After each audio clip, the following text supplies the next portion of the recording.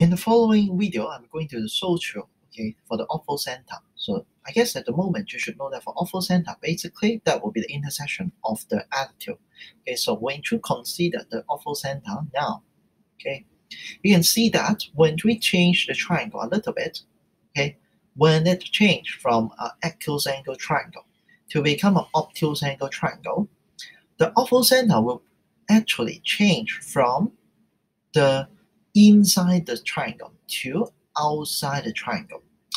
Other than this kind of change, you can also see that if you move it a little bit, when when this one A here move to the middle of B and C, then the ortho center will also lie beyond the triangle, like this. So that is why you can see that for ortho center, actually, this can be beyond the triangle. Okay, like this. So here I just want to mention it.